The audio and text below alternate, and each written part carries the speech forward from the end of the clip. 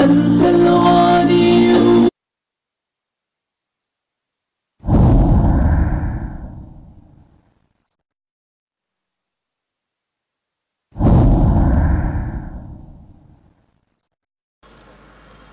إن الحمد لله نحمده ونستعينه ونستغفره.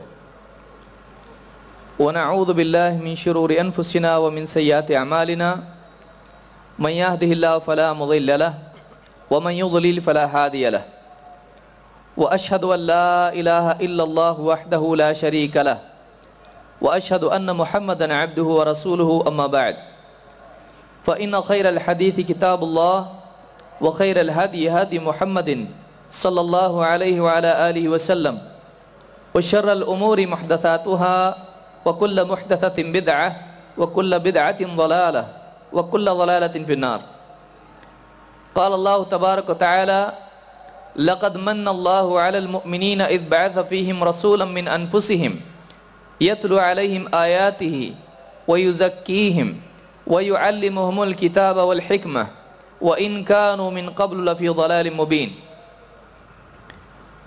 سٹیج پر موجود علماء کرام ذمہ داران قابل احترام شخصیات سامعین میں موجود میرے قابل احترام دینی بھائیوں اور محترم ماں اور بہنوں،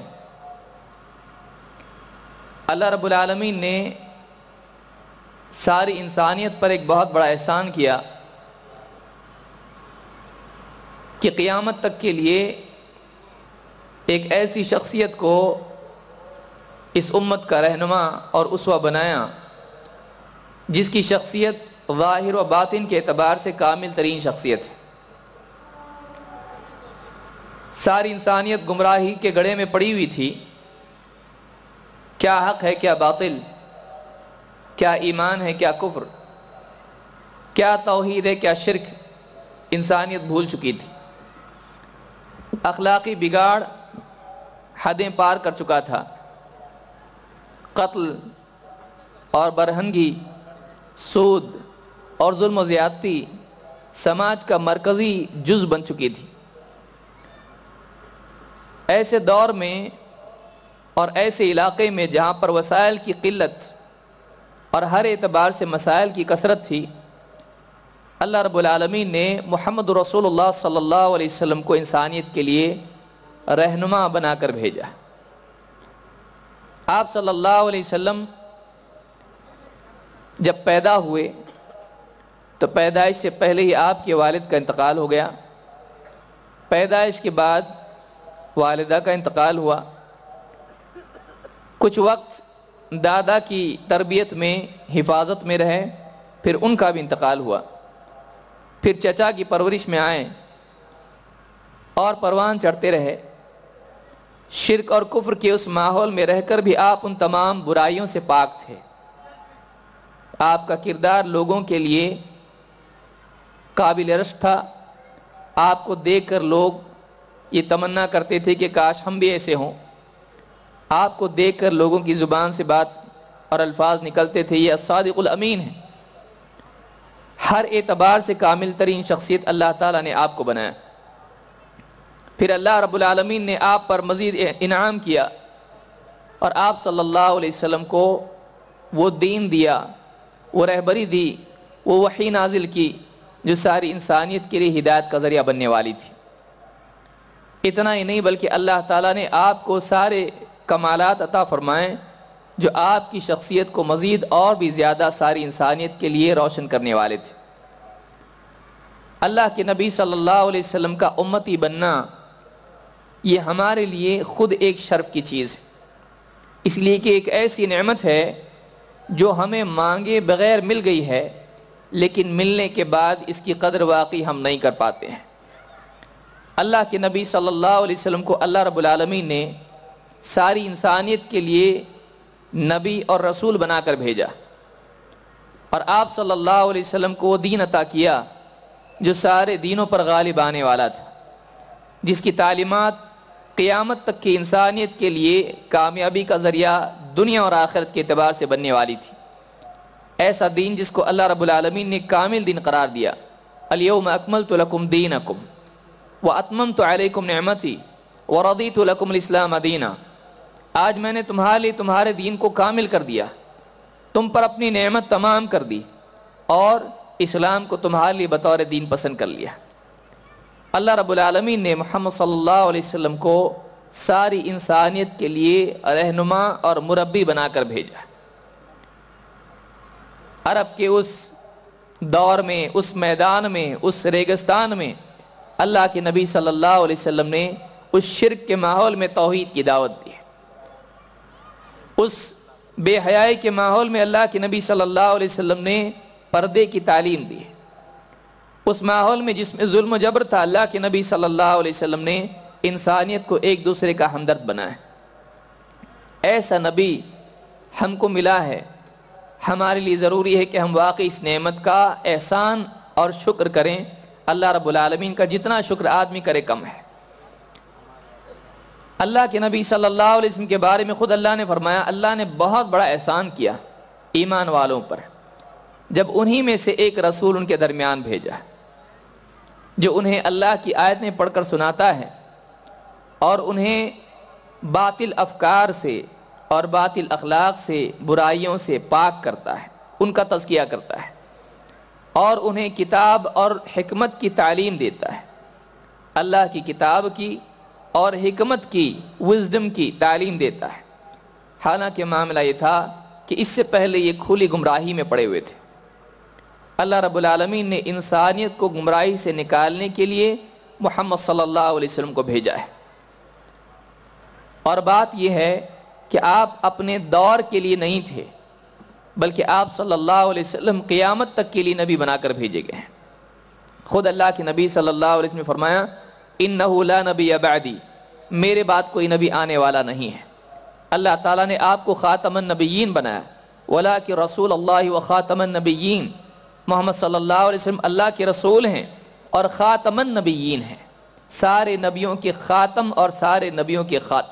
آپ کے آپ کے بعد کوئی نبی نہیں۔ اللہ کے نبی صلی اللہ علیہ وسلم کی سنت یہ ایک انسان کے لیے سعادت کا راستہ دنیا اور آخرت میں کھولتی ہے۔ آپ صلی اللہ علیہ وسلم کو اللہ تعالیٰ نے اسوہ حسنہ قرار دیا ہے۔ آپ کی ہر ادا اللہ کی پسندیدہ ادا ہے۔ آپ کا ہر عمل اللہ کے ہاں قبولیت کا شرف حاصل کیے ہوئے ہے۔ آپ کی پیروی اللہ کے ہاں مقبول ہونے کا وسیلہ ہے۔ اس وسیلے کے بغیر کامیابی ممکن نہیں۔ اللہ تعالیٰ نے قرآن کریم میں فرمایا لقت کان لکم فی رسول اللہ اسوۃ الحسنہ تمہارے لیے اللہ کے رسول میں بہترین نمونہ موجود ہے۔ معلوم یہ ہوا کہ اللہ کے نزدیک بہترین انسان محمد صلی اللہ علیہ وسلم ہیں۔ اور جو انسان اچھا انسان بننا چاہتا ہے، اس کو دائیں بائیں دیکھنے کی ضرورت نہیں ہے۔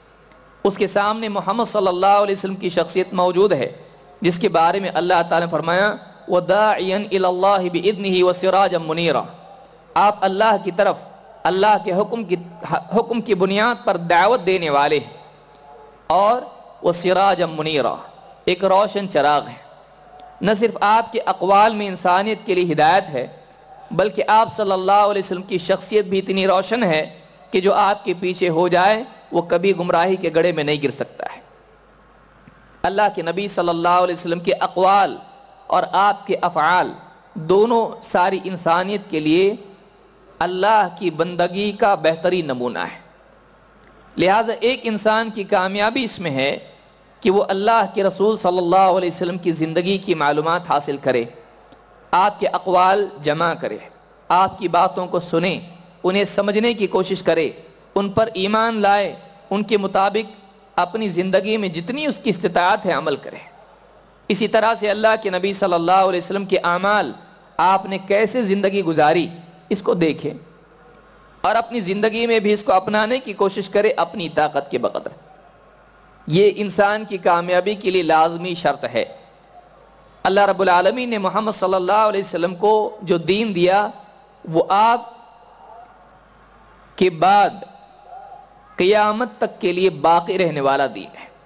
اور آپ اس دین کے پہنچانے والے ہی نہیں تھے، بلکہ آپ اپنے قول و عمل سے اس دین کو سمجھانے والے تھے۔ جس کتاب کو اللہ تعالیٰ نے آپ پر نازل کیا، آپ نے اس کتاب کو اپنے اقوال اور اپنے افعال سے سمجھایا۔ ایک آدمی اس وقت تک کہ قرآن کریم کو صحیح طور سے نہیں سمجھ سکتا ہے، جب تک کہ نبوی رہبری کی روشنی میں اس کو سمجھنے کی کوشش نہ کرے۔ سنت نبویہ کی اہمیت کو سمجھنے کے لیے، اس کے مقام کو سمجھنے کے لیے جو کہ آج ہمارا موضوع ہے، نبی صلی اللہ علیہ وسلم کی سنت کا مقام اور اس کے تقاضے ہیں۔ اس کو سمجھنے کے لیے ضروری ہے کہ خود نبی صلی اللہ علیہ وسلم کا مقام ہم کو معلوم ہے۔ اللہ رب العالمین نے آپ کے بارے میں کہا، آپ رحمت للعالمین ہیں۔ ساری انسانیت کے لیے، حتیٰ کہ دوسرے جانداروں کے لیے بھی آپ رحمت تھے آپ نے ایک ایسی شریعت، ایسا دین دیا جس کی تعمیل میں ساری انسانیت کے لیے رحمت کے پہلو کھلتے ہیں۔ اسی طرح سے آپ کو اللہ نے خاتم النبیین بنایا۔ سارے نبیوں کے خاتم آپ ہیں۔ آپ کے بعد کوئی نبی آنے والا نہیں۔ آپ کی نبوت قیامت تک کے لیے کافی ہے۔ پچھلے نبی آیا کرتے تھے، ان کی تعلیمات لوگ بدل دیتے تھے، ان کی شخصیت کو مجروح کر دیتے تھے، نئے نبی کی ضرورت پیش آتی تھی۔ اب نبی آتا اور پچھلی تعلیمات کی تجدید کرتا۔ یا اللہ کی طرف سے رسول آتا اور اس میں تبدیلیاں بھی لاتا ہے۔ پچھلے احکام منسوخ ہو جاتے ہیں۔ لیکن اللہ رب العالمین نے چونکہ اس دین کی حفاظت کا ذریعہ ذمہ لے لیا ہے اور قیامت تک کے لیے دین محفوظ رہنے والا ہے، اب نئے نبی کی ضرورت نہیں ہے۔ اب قیامت تک یہی دین چلے گا، یہی شریعت چلے گی۔ یہی طریقہ چلے گا جو محمد صلی اللہ علیہ وسلم لے کر آئے ہیں۔ اللہ نے آپ کو خاتم النبیین بنایا۔ اسی طرح سے اللہ رب العالمین نے آپ کو قرآن دیا، جو آپ کا سب سے بڑا معجزہ ہے۔ آپ نے فرمایا ہر نبی کو ایک معجزہ دیا جاتا تھا جس پر لوگ ایمان لاتے۔ اللہ رب العالمین نے مجھ کو یہ وحی دی ہے۔ میں امید کرتا ہوں کہ قیامت کے دن میرے ماننے والے سب سے زیادہ ہوں گے۔ ایک ایسی کتاب جس کی حفاظت کا ذمہ خود اللہ رب العالمین نے لیا ہے۔ ایک ایسی کتاب جو سارے انسانیت کے لیے ہدایت قرار دی گئی ہے اور جو اللہ کی طرف سے انسانیت کے لیے شفا اور ہدا اور رحمت ہے۔ اسی طرح سے اللہ رب العالمین نے نبی کریم صلی اللہ علیہ وسلم کو معراج نصیب فرمائیں۔ آپ مسجد حرام سے لے کے مسجد اقسا تک رات و رات گئے اور آپ کے لیے آسمانی سواری کا انتظام کیا گیا۔ اللہ کی طرف سے سارے فرشتوں کا سردار بھیجا گیا۔ وہ آپ کو لے گئے مسجد حرام سے مسجد اقسا تک اور وہاں سے آپ کا آسمانی سفر ہوا۔ ایک سے دوسرے دوسرے سے تیسرے آسمان تک آپ گئے۔ مسجد اقسا میں سارے نبیوں کی امامت آپ نے کی۔ اللہ رب العالمین نے شرف آپ کو دیا۔ اور اس بات کو ظاہر کیا کہ سب نبی جب جمع ہو جائیں تو پھر ان کے امام بننے کا موقع جب آئے، سب سے اعمال میں سب سے افضل عبادت اور عمل نماز جب مل کے سارے نبی پڑھیں اور ان میں امامت کا وقت آئے تو نبی صلی اللہ علیہ وسلم اس لائق ہیں کہ سارے نبیوں کے امام بن جائے اللہ رب العالمین نے آپ کو نبیوں کی امامت کروائی۔ اسی طرح سے اللہ رب العالمین نے آپ کے لیے مال غنیمت کو جنگوں میں حلال کیا جو پچھلی امتوں میں نبیوں کے لیے حلال نہیں تھا۔ اسی طرح سے آپ کے لیے ساری زمین مسجد اور تہور بنا دی گئی۔ کسی بھی جگہ پر مسلمان سفر میں ہو، کسی بھی علاقے میں ہو، مسجد ہو یا نہ ہو، وہ اپنی نماز کسی بھی جگہ پڑھ سکتا ہے۔ اگر پانی اس کے پاس نہیں ہے، مٹی اس کے لیے تیمم کے لیے بنا دی گئی، اس کے لیے جائز کرا دی گئی کہ اس سے تیمم کر کے نماز پڑھ لے۔ ساری زمین کو اس کے لیے پاکی کا اور نماز پڑھنے کا ذریعہ بنا دیا گیا۔ یہ پچھلی امتوں میں نہیں تھا۔ یہ محمد صلی اللہ علیہ وسلم کے لیے اللہ نے بطور رحمت کیا اور آپ کی امت کے لیے بھی۔ اسی طرح سے آپ ساری انسانیت کے لیے رسول اور نبی بنا کر بھیجے گئے۔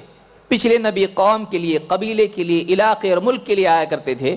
لیکن محمد صلی اللہ علیہ وسلم کو اللہ تعالیٰ نے جگہ اور زمانہ دونوں کے اعتبار سے آپ کو پورے انسانیت کے لیے قیامت تک کے لیے نبی بنا کر بھیجا۔ آپ کے بعد کوئی نبی نہیں ہے۔ اسی طرح سے قیامت کے دن اللہ کے نبی صلی اللہ علیہ وسلم، جیسے آپ معراج کی رات میں سارے نبیوں کے امام تھے، قیامت کے دن نبی اور غیر نبی سارے مراتب کے لوگ جمع ہوں گے۔ صدیقین، شہداء، صالحین، انسان اور جنات اور سب فرشتے وہاں جمع ہوں گے۔ اس دن سید ولد آدم اللہ کے نبی صلی اللہ علیہ وسلم ہوں گے۔ اس مقام پر جہاں پر کائنات کا، زمین کا سارا سب سے بڑا اجتماع ہوگا۔ مخلوقات وہاں ساری جمع ہوں گی۔ یہاں تک کہ جانور بھی جمع ہوں گے۔ وہ عید الوحوش و حشرت، ساری مخلوقات جمع ہوں گی۔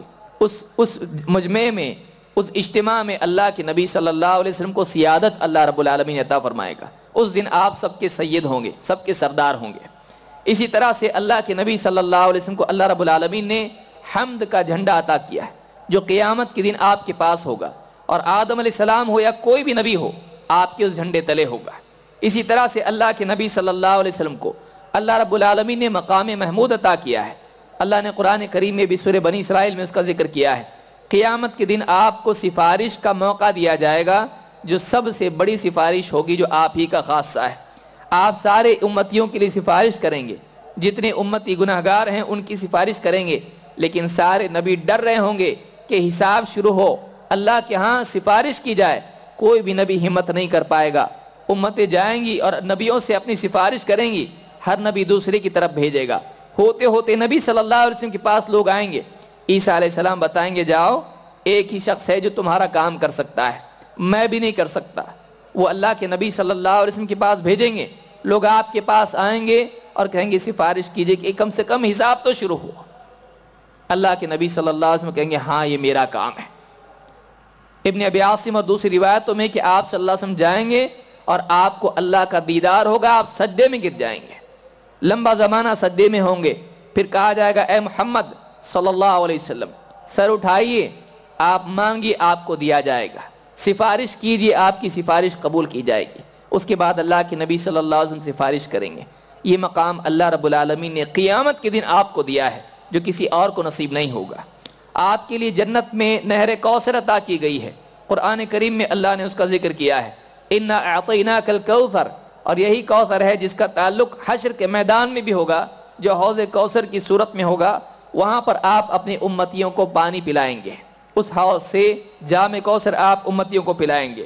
اسی طرح سے قیامت کے دن جنت کا دروازہ کھلوانے کا وقت جب آئے گا، تو کسی اور کے لیے یہ شرف نہیں ہوگا سوائے نبی صلی اللہ علیہ وسلم کے۔ آپ خود فرماتے ہیں، میں جنت کے دروازے پر آؤں گا دروازہ کھٹکھٹاؤں گا۔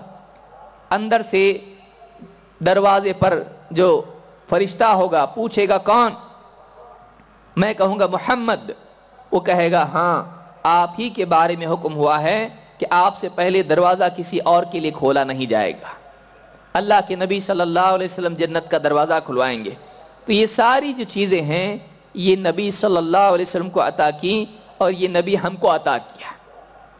اللہ رب العالمین کے احسانات میں سے بہت بڑا احسان اللہ رب العالمین نے ایسا نبی ہم کو دیا ہے۔ لیکن کیا واقعی ہم اس کی قدر کرتے ہیں؟ ہم اپنے ایمان کا، اپنے دل کا جائزہ لیں۔ ہم کو اگر دنیا کا مال مل جائے، دنیا کا عہدہ مل جائے، دنیا کی زیب و زینت مل جائے اچھا گھر، اچھی گاڑی مل جائے، ہم کتنا خوش ہوتے ہیں۔ لیکن کیا کبھی بیٹھ کے ہمارے دل میں اس احسان پر بھی اللہ کا شکر پیدا ہوتا ہے؟ اپنی کروٹوں پہ کبھی اس کا بھی ہم رو کر اللہ کے سامنے گڑ گڑا کے کہتے اللہ تیرا بہت بڑا احسان ہے۔ کہ یہ نبی ہم کو دیا اس نبی کا امت یہ ہم کو بنایا۔ اس نبی کی شریعت پر عمل کرنے کی توفیق ہم کو دی۔ اس اس احسان کا جتنا بھی آدمی اللہ کا شکر کرے کم ہے۔ لہٰذا سعادت اور نبی صلی اللہ علیہ وسلم کی عظمت کے اعتراف کا تقاضا کیا ہے۔ اور آپ صلی اللہ علیہ وسلم کا مقام جاننے کے بعد کیا صرف نبی کی ذات ہی کا احترام کیا جائے، نبی کی ذات ہی سے محبت کی جائے یا پھر نبی کی بات کا بھی احترام ہونا چاہیے۔ ابو طالب میں ہم میں کچھ فرق بھی تو ہونا چاہیے۔ ابو طالب نے نبی صلی اللہ علیہ وسلم کا احترام کیا، ساتھ دیا، محبت کی، پالا پوسا، ہر اعتبار سے یہاں تک کہ آپ کو پیش آنے والی تکلیفوں میں شریک ہوئے۔ لیکن وہ آپ کی ذات سے تعلق رکھتے تھے، آپ کی بات سے نہیں۔ ان کا تعلق نبی صلی اللہ علیہ وسلم سے اس اعتبار سے تھا کہ میرا بھتیجا ہے۔ وہ رشتہ داری کی وجہ سے اور ذاتی محبت کی وجہ سے آپ صلی اللہ علیہ وسلم کا ساتھ دیتے تھے۔ لیکن جیسے ہی نبی صلی اللہ علیہ وسلم نے بات پیش کی، آخری وقت ہے، بستر مرگ پر ہیں، ساتھ میں دو ساتھی بیٹھے ہیں، اور اس وقت میں اللہ کے نبی صلی اللہ علیہ وسلم ابو طالب کے پاس جا رہے ہیں اور کہا کہ، اے چچا، لا الہ الا اللہ کا اقرار کرو، میں اللہ کے ہاں تمہاری سفارش کروں گا۔ ساتھ میں بیٹھے دونوں کہنے لگے کہ اے ابو طالب، کیا اپنے باپ دادا کے دین سے پھر جاؤ گے؟ کیا عبد المطلب کی دین کو چھوڑ دو گے؟ آر دلائی خاندانی، قبائلی۔ ابو طالب نے آخری بات کہی، وہ یہ کہ میں اپنے باپ کے دین پر ہوں۔ اور اللہ کی نبی صلی اللہ علیہ وسلم کی بات کا انکار کر دیا۔ آپ کی ذات کا اعتراف ہے، آپ کی بات کا نہیں ہے لہٰذا اللہ رب العالمین نے نبی صلی اللہ علیہ وسلم کو اس بات سے بھی منع کر دیا کہ آپ ان کے لیے مغفرت کی دعا کریں۔ آپ نے کہا، میں تمہارے لیے مغفرت کی دعا کرتا رہوں گا، یہاں تک کہ مجھ کو منع کر دیا جائے۔ اللہ رب العالمین نے آیت نازل کی، ما کان للنبی والذین آمنوا ان يستغفروا للمشرکین ولو كانوا قربا من بعد ما تبین لهم انہم اصحاب الجحیم نبی کے لیے اور ایمان والوں کے لیے ہرگز اس بات کی گنجائش نہیں کہ وہ مشرقین کے لیے مغفرت کی دعا کریں۔ چاہے وہ قریبی رشتہ دار کیوں نہ ہو، جبکہ بات واضح ہو چکی ہے کہ وہ جہنمی ہیں۔ ابو طالب نے نبی صلی اللہ علیہ وسلم کی بات قبول نہیں کی۔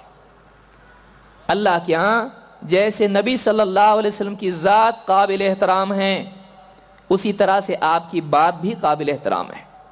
بلکہ اللہ کے نبی صلی اللہ علیہ وسلم کا مقام اللہ کے ہاں اتنا ہے کہ آپ کی چاہت پر اللہ رب العالمین نے قبلہ بدل دیا ہم اپنی زندگی بدلنے کے لیے تیار نہیں ہیں۔ اللہ تعالیٰ نے قرآن کریم میں آیت نازل کی۔ قد نرا تقلب وجهك في السماء فلنولينك قبلة ترضاها۔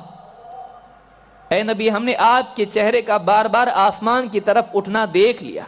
لیجیے آپ کے لیے آپ کی چاہت کے مطابق ہم قبلے کو بدل دیتے ہیں۔ فَلَنُوَلِّيَنَّكَ قِبْلَةً تَرْضَاهَا۔ اللہ نے خاص ذکر کیا اور یہاں پر بتایا کہ آپ جس قبلے کو چاہتے ہو، آپ کی مرضی جائیں، آپ کی مرضی کے مطابق ہم قبلے کو کر دیتے ہیں۔ آپ بتائیے، اللہ کے نبی صلی اللہ علیہ وسلم کی مرضی، آپ کی چاہت، آپ کی پسند کا اعتبار اور اس کی قدر اللہ کے ہاں ہو، کیا ہمارے ہاں نہیں ہو؟ ہماری زندگی دیکھیے، کیا ہم اپنی زندگی میں نبی صلی اللہ علیہ وسلم کی سنتوں کا مقام جانتے؟ ہیں ہم یہود و نصارہ کے طریقے اپنانے میں کبھی شرم محسوس نہیں کرتے۔ لیکن نبی صلی اللہ علیہ وسلم کی تعلیمات کے مطابق نکاح کا موقع آ جائے، مرد بھی اور عورتیں بھی یہ سوچتی یہ کوئی نکاح ہے؟ یہ جنازے کی طرح نکاح اتنا سادہ۔ ہم ساری خرافات کرنے کے لیے تیار ہوتے ہیں۔ نکاح سے لے کے نماز تک، جنازوں تک اور زندگی میں گھر کے سارے معمول، کھانا، پینا، پیشاب، پاخانہ، آپ دیکھیے ساری چیزیں جس میں ہم کو نبی صلی اللہ علیہ وسلم نے ہر چیز سکھا دی، کیا واقعی ہماری زندگی میں اس کی قدر ہے؟ کہ ہم ساری چیزیں چھوڑ کے اس نبی کے پیچھے چلیں جس کے پیچھے چلے بغیر جنت میں نہیں جا سکتا آدمی؟ اللہ کے نبی صلی اللہ علیہ وسلم کے صحابی، ان سے مشرقین میں سے ایک شخص نے کہا، کیسا نبی تمہارا؟ پیشہ پاخانہ بھی سکھاتا ہے تم کو؟ انہوں نے کہا ہاں یہ نہیں کہا کہ ہاں کیا کریں، نہیں، کہا ہمارا نبی ہم کو سکھاتا ہے۔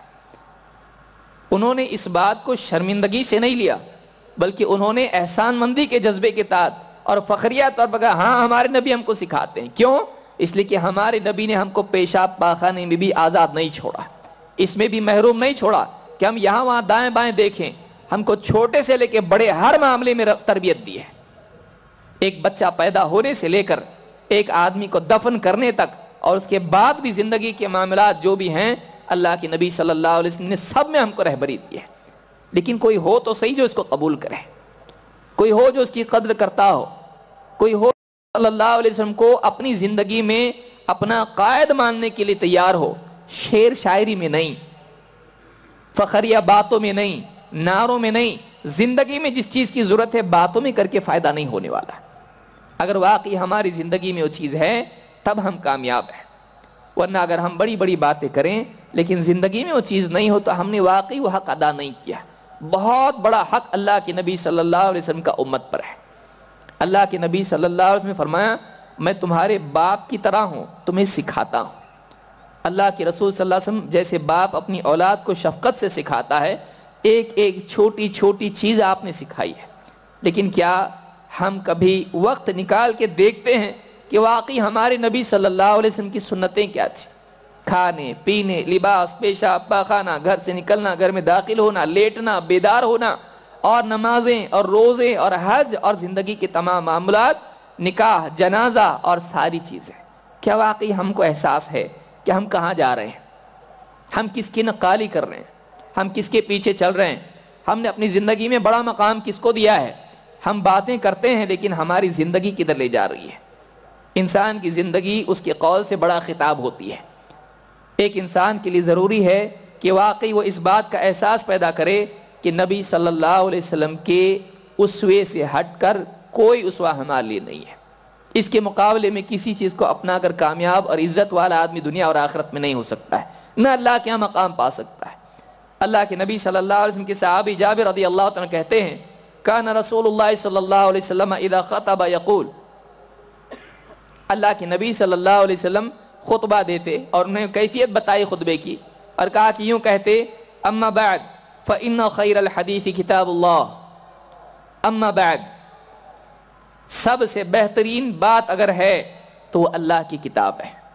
سب سے بہترین کلام اگر ہے تو اللہ کا کلام قرآن ہے۔ وہ خیر الہدا ہدا محمد. اور سب سے بہترین رہبری اگر ہے تو وہ محمد صلی اللہ علیہ وسلم کی ہے۔ یہ مسلم کے الفاظ ہیں۔ ابن ماجہ وغیرہ کے الفاظ ہیں۔ وہ خیر الحدی حدی محمد۔ اور سب سے بہترین نمونہ اسوا اگر کوئی ہے، جینے کا راستہ اگر کوئی ہے، تو محمد صلی اللہ علیہ وسلم کا طریقہ ہے۔ وہ شر العمور محدثاتها اور چیزوں میں سب سے بدترین چیزیں وہ ہیں جو نئی نئی ایجاد کی جائیں۔ وہ کل بدعت ضلالہ، اور ہر بدعت گمراہی ہے۔ اس حدیث کو امام مسلم نے اور اسی طرح سے ابن ماجہ نے روایت کیا ہے۔ اس حدیث سے ایک بات یہ معلوم ہوئی کہ سب سے بہترین جینے کا طریقہ اگر کوئی ہو سکتا ہے، تو وہ نبی صلی اللہ علیہ وسلم کا طریقہ ہے۔ لہٰذا اگر کوئی آدمی تمنا رکھتا ہے، سب سے اچھی زندگی جی کے میں جاؤں، کسی بھی دور کا ہو، کسی بھی ملک کا ہو امیر ہو، غریب ہو، گورا ہو، کالا ہو، اگر وہ چاہتا ہے کہ بہترین زندگی گزار کے جائے، اس کے لیے نمونہ موجود ہے اور نبی صلی اللہ علیہ وسلم کا نمونہ ہے۔ اگر وہ اپناتا ہے اس طریقے کو، تو سب سے بہترین انسان قرار پا سکتا ہے اپنے زمانے کے اعتبار سے۔ جس درجے کا نبی صلی اللہ علیہ وسلم کی اتباع میں کمال ہوگا، اس درجے کی محبوبیت اللہ کے ہاں اس کو ملے گی۔ اللہ کے نبی صلی اللہ علیہ وسلم نے اپنی سنت کو اور سنت کی پیروی کو گمراہی سے حفاظت قرار دیا ہے۔ ایک آدمی چاہتا ہے کہ فتنوں کے دور میں گمراہیوں سے بچ کے سرات مستقیم پر باقی رہے اور ہدایت یافتہ ہو کر اللہ رب العالمین سے کامیاب انسان بن کر ملے۔ تو ایسے انسان کے لیے نبی صلی اللہ علیہ وسلم کی سنت ہے اور قیامت تک ہے۔ آپ نے اپنے بعد اس کو چھوڑا ہے۔ تاکہ مسلمان گمراہ ہونے سے بچیں۔ اللہ کے نبی صلی اللہ علیہ وسلم فرماتے ہیں ترک تو فیکم شیئین، میں نے اپنے بعد تمہارے درمیان دو چیزیں چھوڑی ہیں۔ لن تضلوا بعدہما، ان دو چیزوں کے بعد کبھی تم گمراہ نہیں ہوں گے۔ اگر ان دو چیزوں کا تم نے اہتمام کیا اپنی زندگی میں، کبھی گمراہ نہیں ہوں گے۔ کتاب اللہ و سنتی، وہ دو چیزیں کیا ہیں؟ اللہ کی کتاب اور میری سنت۔ اللہ کی کتاب قرآن اور میرا طریقہ۔ وَلَن يَتَفَرَّقَ حَتَّى يَرِدَ عَلَيَ الْحَوْض۔ اور یہ دو چیزیں الگ نہیں ہوں گی۔ یہ نہیں کہ کسی زمانے میں تم کو قرآن کافی ہو جائے، حدیث کی ضرورت نہ رہے، نہیں۔ دونوں الگ نہیں ہوں گی، ساتھ میں رہیں گی۔ دونوں ایک دوسرے کے لیے لازم و ملزوم ہیں۔ اللہ نے فرمایا، اللہ کے نبی صلی اللہ علیہ وسلم فرمایا کہ یہ دونوں الگ نہیں ہوں گے۔ یہاں تک کہ حوض پر مجھ سے ملاقات۔ تو اس حدیث کو امام حاکم نے روایت کیا ہے۔ اس سے معلوم ہوتا ہے کہ اگر کوئی آدمی گمراہی سے بچنا چاہتا ہے، اس کے لیے آج بھی اللہ کے نبی صلی اللہ علیہ وسلم کی سنت موجود ہے۔ امام مالک رحمۃ اللہ علیہ کے بارے میں ابن وہب کہتے ہیں کنہ عند مالکن، ہم امام مالک کے پاس تھے۔ فذکرت السنہ، یا فذکرت السنہ۔ تو امام مالک کے پاس سنت کا ذکر آیا۔ فقال مالکن السنت سفینت نوح۔ سنت نو علیہ السلام کی کشتی ہے۔ سنت، نبی صلی اللہ علیہ وسلم کی سنت۔ نو علیہ السلام کی کشتی ہے۔ مرہ کی بہا نجا ومن تخلف عنها غرق جو آدمی اس کشتی میں سوار ہو گیا، اس نے نجات پائی۔ جیسے نو علیہ السلام کے وقت میں وہی لوگ بچے جو کشتی پر سوار ہوئے۔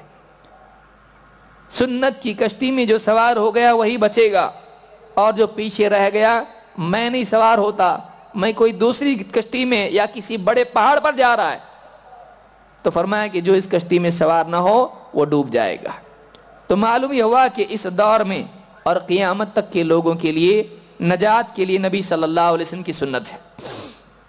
اسی طرح سے سنت کی اہمیت اور مقام سمجھنے کے لیے بھی ضروری ہے کہ آدمی چاہے کتنا ہی مجاہدہ کر لے، اگر نبی صلی اللہ علیہ وسلم کی سنت ترک کرتا ہے اور مجاہدہ کرتا ہے اللہ کے ہاں مقبول نہیں ہے۔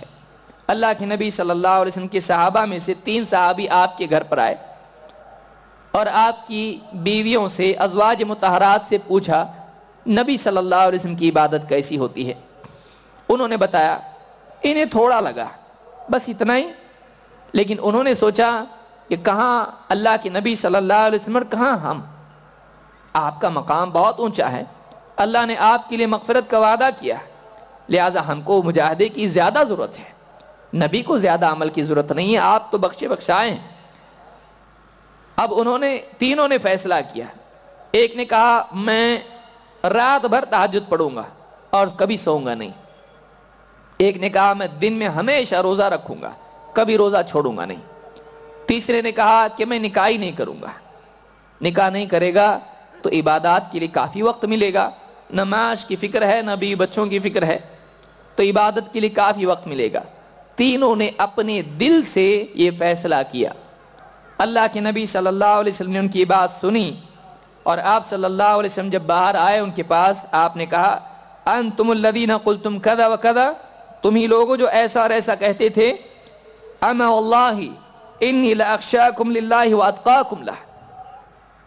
اللہ کی قسم، میرا معاملہ یہ ہے کہ تم سب سے زیادہ اللہ سے ڈرنے والا اور پرہیزگار زندگی گزارنے والا میں ہوں۔ اللہ کا خوف اگر ہے کسی کو اور عبادت کر رہا ہے تو میں اللہ سے ڈرنے والا ہوں۔ اگر خواہشات سے بچنے کا معاملہ ہے تو میں زیادہ بچنے والا ہوں۔ لاکنی اصوم و افطر و اسلی و ارقد۔ لیکن میرا معاملہ یہ ہے کہ میں رات میں دن میں روزہ رکھتا ہوں تو کبھی نہیں بھی رکھتا ہوں۔ نوافل، نفل روزے کبھی رکھتا ہوں، کبھی نہیں بھی رکھتا ہوں۔ اور کبھی نماز پڑھتا ہوں تو کبھی سو بھی جاتا ہوں۔ وہ اتزوج النساء، اور میں عورتوں سے نکاح بھی کرتا ہوں۔ نکاح چھوڑ کے نہیں جیتا ہوں، بلکہ نکاح کرنا میرا طریقہ ہے۔ فمر رغب عن سنتی فلئی سمنی ہے لہٰذا جو میری سنت سے روگردانی کرے، میری سنت سے اعراض کرے، اس کا مجھ سے کوئی تعلق نہیں۔ آپ سوچئے تین صحابی ہیں اور ان کی نیت اچھی ہے، اور وہ مجاہدے کی بات کر رہے ہیں، روزہ رکھنا، نماز پڑھنا۔ اور جو رکاوٹ بنتی ہے دین میں، گھر گرستی، بیوی نکاح ہی نہیں کرنا۔ لیکن اللہ کے نبی صلی اللہ علیہ وسلم نے کہا، نہیں، میرا طریقہ نماز پڑھنے کا، سونے کا بھی ہے، روزہ رکھنے کا، نہیں رکھنے کا بھی ہے، اور نکاح کرنے کا ہے۔ لہٰذا میرے طریقے سے جو اعراض کرے، مجھ سے نہیں۔ معلوم یہ ہوا کہ اگر ایک آدمی مجاہدے کی کثرت بھی کرے، لیکن وہ مجاہدہ نبی صلی اللہ علیہ وسلم کی سنت سے ہٹا ہوا ہو تو اللہ تعالیٰ اس کو قبول نہیں کرے گا۔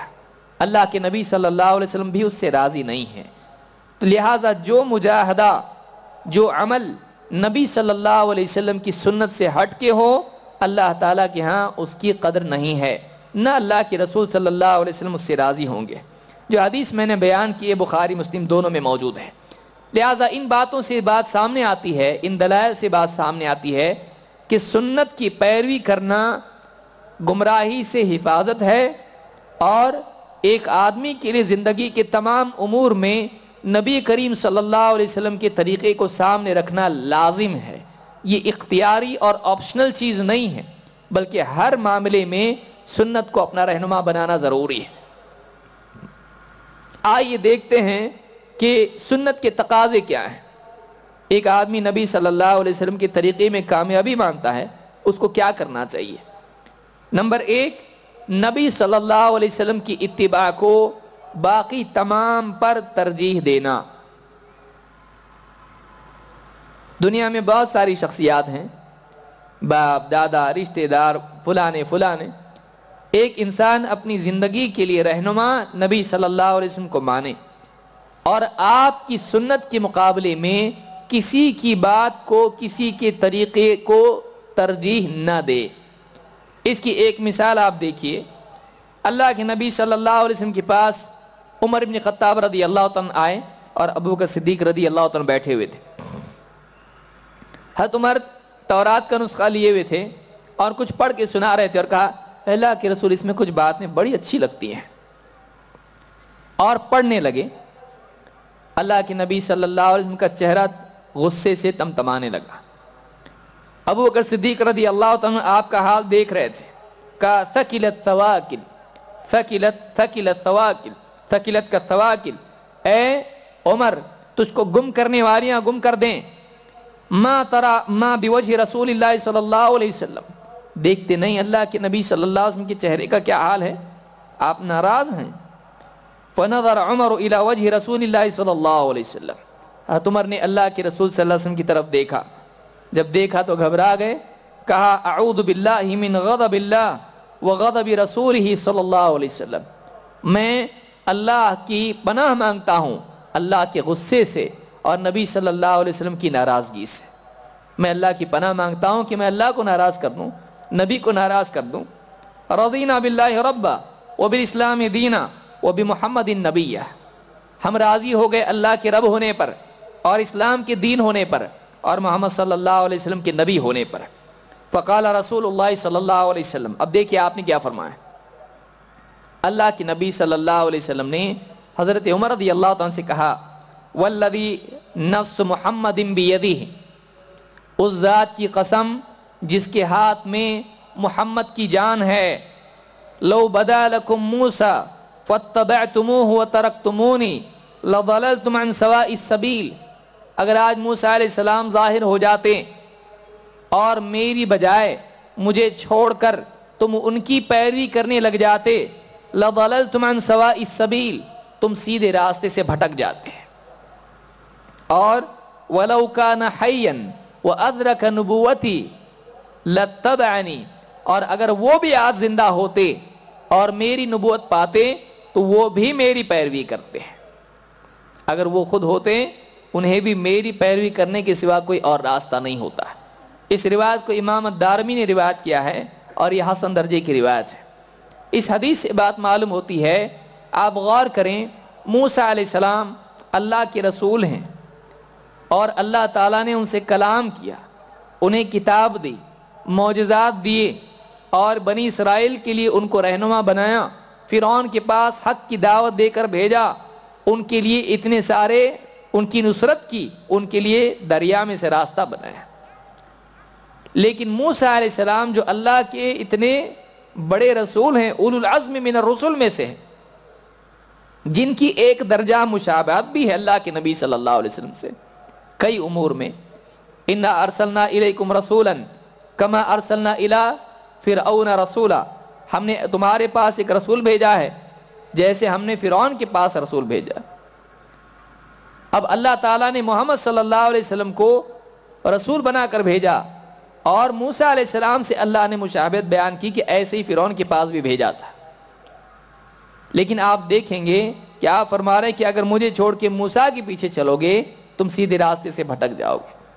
اللہ کی طرف سے طے شدہ رسول، جو مقرب بندے بھی ہیں، لیکن محمد صلی اللہ علیہ وسلم پر کسی اور کو ترجیح دے کر اگر ان کے پیچھے چلنے لگ جائیں تو آپ نے فرمایا تم سیدھے راستے سے بھٹک جاؤ گے۔ اور آپ نے فرمایا کہ اگر موسیٰ علیہ السلام بھی آج ہوتے تو انہیں میری پیروی کرنی پڑتی ہے۔ بڑی سے بڑی شخصیت بھی ہے، ان کے لیے نبی کی پیروی ہے۔ نبی صلی اللہ علیہ وسلم دوسرے کی پیروی نہیں کریں گے۔ اللہ تعالیٰ نے آپ صلی اللہ علیہ وسلم پر دین کو کامل کر دیا اور ساری انسانیت کے لیے آپ کو اسوا بنایا۔ پچھلی ساری شریعتیں منسوخ کر دیں۔ اب یہ شریعت باقی ہے، قیامت تک کے لیے۔ لہٰذا ایک انسان کی کامیابی اس میں ہے کہ اپنی زندگی کے تمام امور میں اللہ کے نبی صلی اللہ علیہ وسلم کا طریقہ معلوم کر کے اس کے مطابق جینے والا وہ بنے ہیں۔ پھر آدمی کہے، نہیں، باپ دادا ایسا کرتے ہیں، ہمارے گھر میں تو ایسے ہی نکاح ہوتا رہا ہے، ہمارے یہاں تو ایسے ہی یہ فلاں چیز کرتے ہیں۔ دیکھیے باپ دادا کا احترام ضروری ہے، لیکن ماں باپ سے بڑھ کے اللہ کے رسول صلی اللہ علیہ وسلم کا معاملہ ہے۔ ماں باپ سے بڑھ کے پیارے رسول صلی اللہ علیہ وسلم کا معاملہ ہے۔ جو آدمی اپنے ماں باپ پر نبی صلی اللہ علیہ وسلم کو ترجیح نہ دے، اس کا ایمان ناقص ہے۔ جو اپنے ماں باپ پر، اپنے رشتہ داروں پر، اپنے بیوی بچوں پر اللہ کے نبی صلی اللہ علیہ وسلم کو ترجیح نہ دے، اس کا ایمان ناقص لہٰذا ہر انسان کے لیے ضروری ہے کہ سارے لوگوں پر پیارے رسول صلی اللہ علیہ وسلم کو ترجیح لا يؤمن احدكم حتى اكون احب اليه من والده وولده والناس اجمعین۔ آپ نے فرمایا، وہ آدمی تم میں سے واقعی مومن نہیں۔ لا یؤمن احدکم، تم میں سے کوئی آدمی واقعی مومن نہیں ہو سکتا ہے، کامل مومن نہیں ہو سکتا ہے۔ حتیٰ اکون احب الی، یہاں تک کہ میں اس کے نزدیک زیادہ محبوب ہو جاؤں۔ من والد ہی اپنے باپ سے وولدی ہی اپنی اولاد سے والناس اجمعین اور سارے لوگوں سے۔ ساری انسانیت پر جب تک کہ نبی صلی اللہ علیہ وسلم کو ترجیح نہیں دیتا ہے پریفرنس نہیں دیتا ہے، تب تک کہ اس کا ایمان کامل نہیں ہوتا ہے۔ جیسے آپ کی ذات کو ترجیح دینا ہے ویسے آپ کی بات کو بھی ترجیح دینا ہے۔ اسی لیے اللہ نے فرمایا کہ لا تقدموا بین ید اللہ و رسول ہی اللہ۔ اللہ اور اس کے رسول سے آگے مت بڑھو، اللہ سے ڈرو، نہ کسی اور کو آگے بڑھاؤ۔ لہٰذا معلوم یہ ہوا کہ پیارے رسول صلی اللہ علیہ وسلم کا طریقہ ہمارے لیے اسوا اور نمونہ ہے۔ اسی کو اپنا کی زندگی گزارنا چاہیے، اسی میں ہماری کامیابی ہے۔ اسی طرح سے اتباع سنت میں اگر آدمی کو تکلیف ہو تو بھی اس کو برداشت کرنا چاہیے۔ اتباع سنت کا، سنت کی تعظیم کا تقاضا کیا ہے؟ ایک آدمی واقعی اگر سنت کا احترام کرتا ہے، اس کو چاہیے کہ سنت بعض اوقات ہوتا یہ ہے کہ آدمی، جہاں سنتوں پہ آدمی کو عزت ملتی ہے وہ تو کرتا ہے، لیکن جہاں تکلیف ہوتی وہ نہیں کرتا ہے۔ آدمی کو چاہیے کہ سنت کی خاطر اگر آدمی کو تکلیف اور نقصان بھی دکھائی دیتا ہے، تب بھی اس سے چمٹا رہے۔ اللہ کے نبی صلی اللہ علیہ وسلم فرماتے ہیں، المتمسک بسنتی عند اختلاف امتی کالقابض علی الجمر۔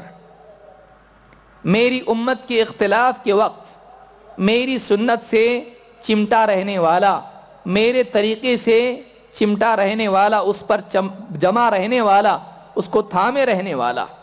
ایسا ہوگا جیسے ایک آدمی آگ کا انگارہ ہاتھ میں پکڑے ہوئے ہیں اس کو تکلیف ہوگی لیکن کامیابی اسی میں اس کی ہوگی۔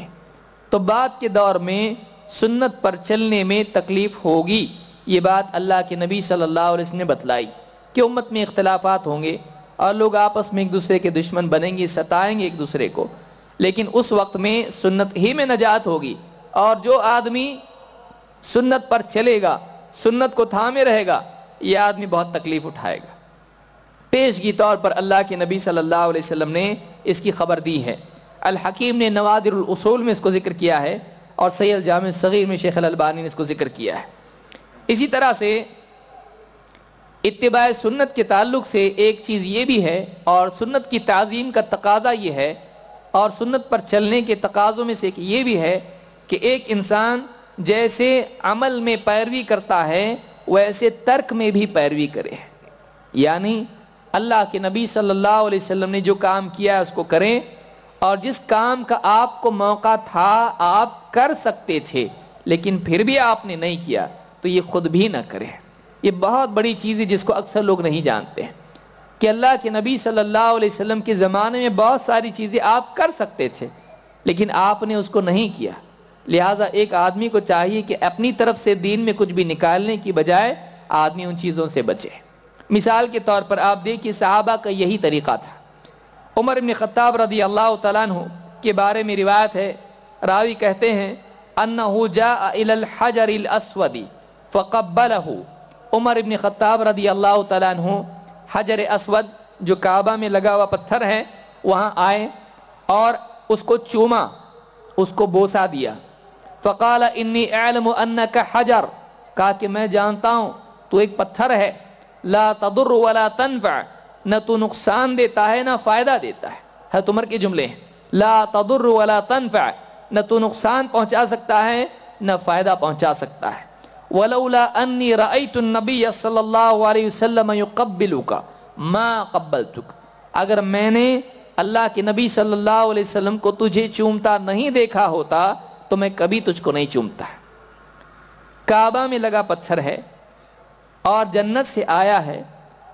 ابراہیم علیہ السلام نے اس کو نصب کیا ہے۔ دوسری مرتبہ خود رسول صلی اللہ علیہ وسلم نے اس کو نصب کیا ہے۔ لیکن اس ساری عظمت کے باوجود کیا کہہ رہے ہیں؟ تو پتھر ہے، تو نقصان نفع نہیں دیتا ہے۔ میں تجھ کو کیوں چوم رہا ہوں؟ اس کی وجہ کیا ہے؟ تیری عظمت کی وجہ سے، کعبہ میں لگنے کی وجہ سے؟ نہیں۔ میں تجھ کو کیوں چوم رہا ہوں؟ اگر میں نے ہمارے نبی محمد صلی اللہ علیہ وسلم کو تجھے چومتا نہیں دیکھا ہوتا، میں نہیں چومتا۔ یعنی اگر آپ نہیں کرتے تو میں بھی نہیں کرتا۔ آپ نے کیا تو میں نے بھی کیا۔ یہ صحابہ کا مزاج تھا کہ اگر ہمارے نبی نے یہ نہیں کیا ہے، ہم بھی نہیں کریں گے۔ اگر ہمارے نبی صلی اللہ علیہ وسلم نے ایسا کیا ہے، ہم بھی کریں گے۔ لہٰذا ایک ایمان والے کا طریقہ یہ ہونا چاہیے کہ جہاں اللہ کے نبی صلی اللہ علیہ وسلم نے کوئی کام کیا ہے، وہ کرے۔ اور اگر موقع ہونے کے باوجود آپ نے چھوڑا ہے تو وہ نہ کریں۔ یہ اتباع سنت کی یا سنت کی تعظیم کا تقاضا ہے۔ جو روایت میں نے ذکر کی، اس کو امام البخاری اور مسلم دونوں نے روایت کیا ہے۔ اسی طرح سے سنت کی تعظیم کے تقاضوں میں یہ بھی ہے کہ ایک آدمی امت میں، آپس میں، مسلمانوں میں جب بھی کسی مسئلے میں اختلاف ہو، تو اس اختلاف کے حل کے لیے اللہ اور اس کے رسول صلی اللہ علیہ وسلم کی بات کی طرف رجوع کریں۔ اللہ تعالیٰ قرآن کریم میں فرماتا ہے، یا ایو الذین آمنوا اطیعوا اللہ و اطیعوا الرسول و اولی الامر منکم۔ اے ایمان والو، اللہ تعالیٰ کی فرما برداری کرو، اس کے رسول صلی اللہ علیہ وسلم کی فرما برداری کرو، اور ان کی بھی جو تم میں سے اول الامر ہیں، تمہارے حاکم ہیں اور تمہارے عالم ہیں۔ علم اور فقہ والے اور اسی طرح سے تم پر جو امیر مقرر کیے جاتے ہیں، تمہارے حاکم ہوتے ہیں۔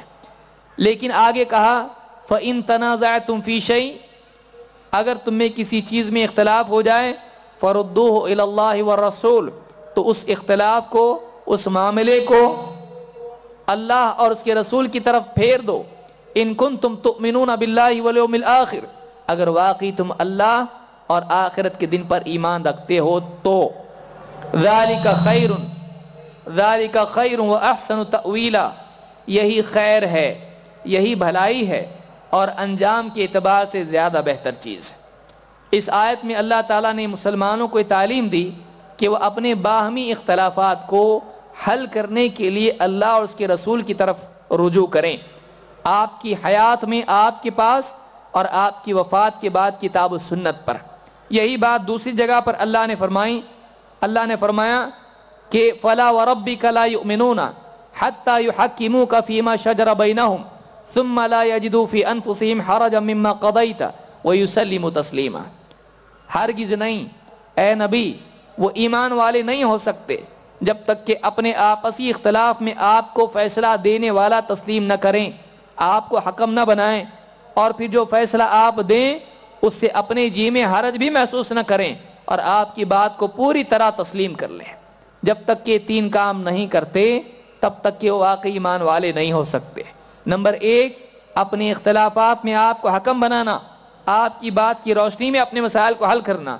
دو، آپ صلی اللہ علیہ وسلم کی بات چاہے نفس کے خلاف ہو، نقصان دکھائی دے، دل میں اس میں تنگی نہ لانا کہ کیسے فیصلہ دے دیا یہ میں صحیح نہیں مانتا، ایسا دل میں نہیں ہو۔ نمبر تین، اس فیصلے کو پوری طرح اپنی زندگی میں نافذ کرے یہ نہیں کہ آدھی بات مانی اور آدھی بات چھوڑ دی بلکہ پوری طرح سے اس بات کو تسلیم کرے یہ نبی صلی اللہ علیہ وسلم کے احترام کا تقاضا ہے، یہ آپ پر ایمان کا تقاضا ہے۔ اسی طرح سے اللہ کے نبی صلی اللہ علیہ وسلم نے فرمایا، قد ترکتکم علی البیضاء لیلها کنہاریها میں نے تمہیں ایک روشن راہ پر چھوڑا ہے۔ اس کی رات بھی اجالے کی طرح، دن کی طرح روشن ہے۔ لا یزیغ عنها بعدی الا حالک اس کے بعد، میرے بعد، اس راستے کے سلسلے میں وہی آدمی برباد ہوگا، گمراہ ہوگا جو ہلاک ہونے والا ہے۔ اس سے وہی ہٹے گا جو ہلاک ہونے والا ہے۔ میں یعش منکم فسیر اختلافا کثیرا۔ جو آدمی اور آگے جیے گا، وہ امت میں بہت سارا اختلاف دیکھے گا۔ فعلیکم بما عرفتم من سنتی۔ لہٰذا اس اختلاف کے دور میں میری سنت، جس کو تم پہچانتے ہو اس سنت کی پیروی لازم ہے۔ اختلاف کے دور میں میری سنت کی پیروی کرنا۔ وہ سنت الخلفاء الراشدین المہدیین۔ اور میرے ہدایت یافتہ خلفۂ راشدین کی پیروی کرنا۔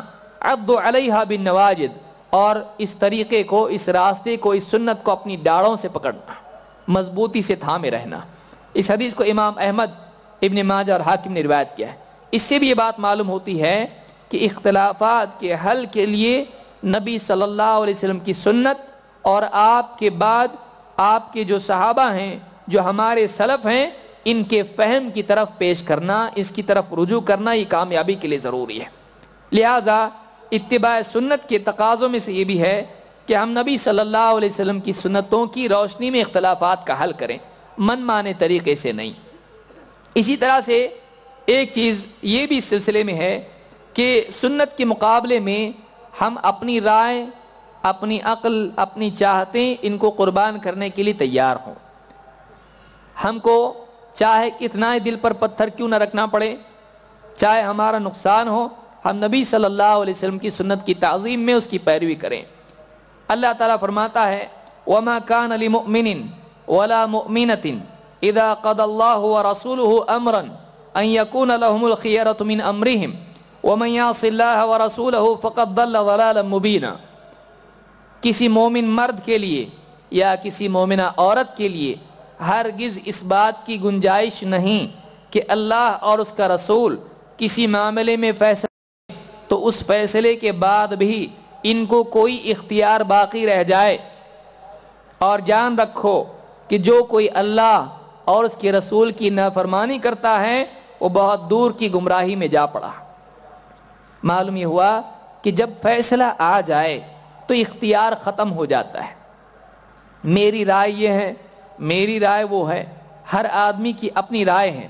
لیکن نبی صلی اللہ علیہ وسلم کی سنت آ جانے کے بعد ساری رائے چھوڑ کر نبی کریم صلی اللہ علیہ وسلم کی سنت کی پیروی کرنی پڑتی ہے۔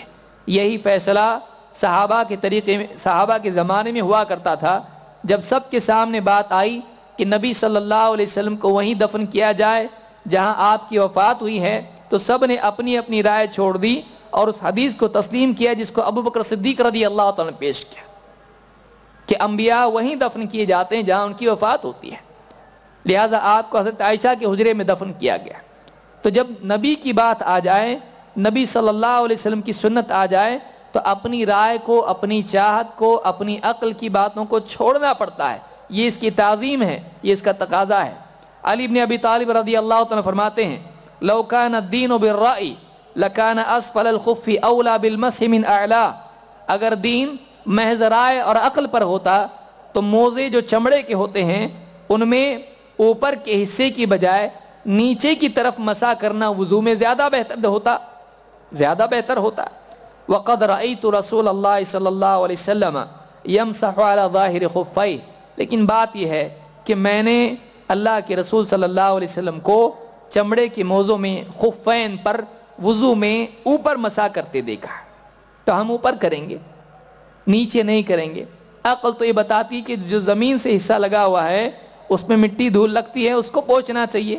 لیکن ہم نے نبی کو دیکھا کہ اوپر مساف کرتے تھے۔ لہٰذا ہم بھی کیا کرتے ہیں؟ جیسا ہمارے رسول صلی اللہ علیہ وسلم نے کیا، ویسے ہم کرتے ہیں۔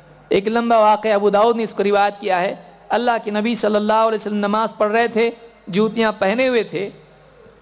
آپ نے نماز ہی میں جوتیاں نکال دیں۔ جوتیاں آپ نے نماز میں اتار دیں۔ صحابہ نے بھی آپ کے پیچھے جوتیاں اتار دیں۔ اس زمانے میں ویسا پڑھا کرتے تھے۔ اب آپ نے نماز کے بعد پوچھا تم نے کیوں نکالی؟ تم نے کیوں جوتیاں اتار دیں؟ صحابہ نے کوئی اور دوسرا جواب نہیں دیا۔ کہا، آپ نے اتاری تو ہم نے بھی اتار دی۔ تو معلوم یہ ہوا، صحابہ کا طریقہ یہ تھا کہ پیارے رسول صلی اللہ علیہ وسلم جب کوئی عمل کرتے، ان کے پاس اس کی وجہ ہو یا نہ ہو، ایک وجہ کافی تھی۔ ہمارے نبی صلی اللہ علیہ وسلم ایسا کرتے ہیں۔ ہم کو سمجھے یا نہ سمجھے، ہم ویسا کریں گے جیسے ہمارے نبی نے کیا ہے۔ یہ اتباع کا تقاضا ہے۔ صلح حدیبیہ کے وقت نہیں سمجھ میں آ رہا تھا، لیکن نبی صلی اللہ علیہ وسلم جو فیصلہ کر دیا، صلح کریں گے مشرقین کے ساتھ سارے صحابہ اس کے لیے راضی ہو گئے، حالانکہ دل نہیں چاہتا تھا۔ کیوں دب کے صلح کر رہے ہیں؟ لیکن ہمارے نبی کا فیصلہ ہے، ہمارا دل چاہے یا نہ چاہے، ہم وہی بات کریں گے جو ہمارے نبی چاہتے ہیں۔ لہٰذا یہ مزاج اگر ہمارا بنتا ہے، تو ہم کامیاب ہیں، ورنہ ناکام ہیں۔ ام اربا کا بھی یہی معاملہ تھا۔ چاروں کے قول ذکر کر کے اپنی بات ختم کرتا ہوں۔ امام ابو حنیفہ رحمۃ اللہ علیہ ہمارے امام ہیں۔ امام ابو حنیفہ رحمۃ اللہ علیہ فرماتے ہیں کہ ایاکم والقول فی دین اللہ تعالی بالرائی اللہ کے دین میں اپنی رائے سے، اپنے عقل سے، اپنے دل سے کوئی بھی بات بولنے سے بچتے رہو۔ علیکم باتباع السنہ، تمہارے لیے سنت کی پیروی ضروری ہے۔ فمن خرج عنها ضل، جو اتباع سنت کے دائرے سے باہر نکل گیا، وہ گمراہ ہو گیا۔ امام ابو حنیفہ رحمۃ اللہ علیہ کا قول، حافظ عراقی نے المستخرج علی المستدرک میں اس کو ذکر کیا ہے۔ تو امام ابو حنیفہ رحمۃ اللہ علیہ کی تعلیمات میں سے بھی وہ بھی ساری امت کو یہی سکھاتے تھے کہ مسلمان نبی صلی اللہ علیہ وسلم کی اتباع کریں اور سنت کے دائرے سے باہر نہ نکلیں۔ ان کا بھی عمل یہی تھا۔ ان کا بھی طریقہ اور اصول یہی تھا کہ سنت پر کسی کو ترجیح نہ دی جائے۔ امام مالک رحمۃ اللہ علیہ فرماتے ہیں، انما انا بشر، اختی و اسیب میں تو ایک انسان ہوں، میں خطا بھی مجھ سے ہو جاتی ہے اور میں صحیح بھی بات بتا دیتا ہوں۔ فن فی رائی تو میرے اشتہاد میں، میری رائے میں تم غور کرو۔ فکل ما وافق الکتاب و سنت فخذو تو میری ہر وہ بات جو کتاب و سنت کے موافق ہو، اس کو لے لو۔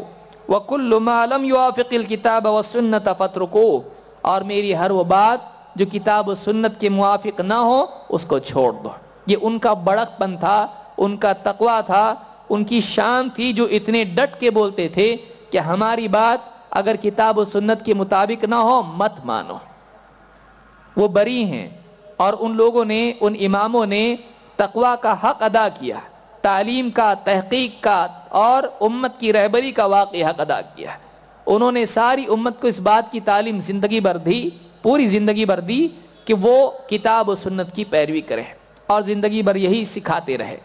ابن عبد البر نے جامع بیان العلم میں امام مالک کا قول ذکر کیا ہے۔ اسی طرح سے امام شافی رحمۃ اللہ علیہ فرماتے ہیں، اجمع المسلمون على من ان على ان من استبانت له سنت رسول الله صلی اللہ علیہ وسلم، لم يكن له ان يدعها لقول احد من الناس۔ ساری امت کا اس بات پر اجماع ہے، ساری امت اس بات پر جمع ہے کہ جس انسان کے لیے نبی صلی اللہ علیہ وسلم کی سنت کھل کے سامنے واضح ہو جائے، اس کے لیے ہرگز اس بات کی گنجائش نہیں کہ کسی اور کی بات کی وجہ سے نبی صلی اللہ علیہ وسلم کی سنت کو چھوڑ دیں۔ ساری امت کا اجماع ہے۔ کون کہہ رہا ہے؟ امام اشافی رحمۃ اللہ علیہ فرما رہے ہیں۔ اعلام المواقین میں ابن قیم نے قول ذکر کیا ہے۔ اسی طرح سے امام احمد ابن حنبل رحمۃ اللہ علیہ جو آخر امام چاروں میں سے، جن کو امام اہل سنہ بھی کہا جاتا ہے خلق قرآن کے فتنے میں ان کی استقامت کی وجہ سے کہتے ہیں مرد حدیث رسول اللہ صلی اللہ علیہ وسلم فهو على شفا حلقت جو آدمی اللہ کے رسول صلی اللہ علیہ وسلم کی حدیث کو رد کر دے، وہ گمراہی کے گڑے کے کنارے جا کھڑا ہوا۔ وہ اس میں گرنے ہی والا ہے۔ جو آدمی رسول صلی اللہ علیہ وسلم کی حدیث کا انکار کرتا ہے، اس کو رد کرتا ہے، وہ گمراہی کے گڑے کے کنارے ہلاکت کے گڑے کے کنارے جا کھڑا ہوا، یہ ہلاک ہونے والا ہے۔ اس کو ابن الجوزی نے روایت کیا ہے۔ ان اقوال سے بات معلوم ہوتی ہے کہ ہمارے ائمہ کرام جتنے بھی تھے، یہ واقعی اللہ سے ڈرنے والے تھے، یہ علم کے گہرے تھے۔ انہوں نے اپنی زندگی کی تمام سانسیں امت کی خدمت میں، تعلیم میں، حدیث کی خدمت میں، قرآن و سنت کی خدمت میں گزاری۔ اور انہوں نے امت کو اسی بات کی تعلیم دی کہ وہ ہر دور میں نبی صلی اللہ علیہ وسلم کی سنت کا اہتمام کریں۔ ان ائمہ کی شان اور ان کا احترام، اس کا بھی تقاضا یہ ہے کہ ہم نبی کریم صلی اللہ علیہ وسلم کی احادیث کا علم حاصل کریں، ان کی تعظیم کریں اور اپنی زندگی میں ان کی تعلیمات کے مطابق ان کی توسیع ان کی وصیت کو سامنے رکھتے ہوئے بھی ہم اللہ کے نبی صلی اللہ علیہ وسلم کی سنت کا اہتمام کریں۔ اسی میں ہماری عزت ہے۔ اسی میں ہماری کامیابی ہے۔ دنیا اور آخرت میں اللہ تعالیٰ کا مقرب آدمی تبھی بن سکتا ہے جب واقعی نبی صلی اللہ علیہ وسلم کی اتباع کرنے والا ہو۔ قرآن کریم میں اللہ نے فرمایا، قل ان کن تم تحبون اللہ فتبعونی یحببکم اللہ ویغفر لکم ذنوبکم واللہ غفور رحیم۔ اے نبی، آپ کہہ دیجیے، اگر واقعی تم اللہ سے محبت رکھتے ہو تو میری اتباع کرو، میری پیروی کرو، اللہ بھی تم سے محبت کرے گا۔ اتنا ہی نہیں، بلکہ تمہارے گناہوں کی مغفرت بھی کرے گا۔ اس لیے کہ اللہ تعالیٰ بڑا مغفرت کرنے والا، رحم فرمانے والا ہے۔ لیکن رحمت کے لیے ضروری ہے کہ بندہ وہ سبب پیدا کرے جس سے اللہ کی رحمت اس کے حصے میں آتی ہے۔ اور وہ چیز کیا ہے؟ اللہ کی مغفرت اور رحمت اور محبت تین چیزیں یہاں پر بیان کی گئی ہیں۔ اللہ کی محبت کیسے ملتی ہے؟ اللہ کی طرف سے مغفرت کا حقدار آدمی کیسے بنتا ہے؟ اور اللہ تعالیٰ کی رحمت کیسے ملتی ہے؟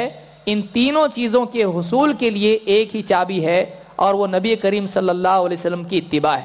اللہ رب العالمین سے دعا ہے کہ ہم سب کو پیارے رسول صلی اللہ علیہ وسلم کی سنتوں کی پیروی کرنے کی توفیق ادا فرمائیں زندگی کے تمام امور میں اتباع سنت کا حق ادا کرنے کی توفیق ادا فرمائیں اقول هذا واستغفر الله لي ولكم۔ هذا الجلال والإكرام أنت أنت الجامع. أنت الغني. أنت الغني. أنت المغني. أنت المغني. المانع أنت الضار. أنت ربي. يا مالك الملك. يا ذا الجلال والإكرام. أنت المقسط. أنت الجامع. one.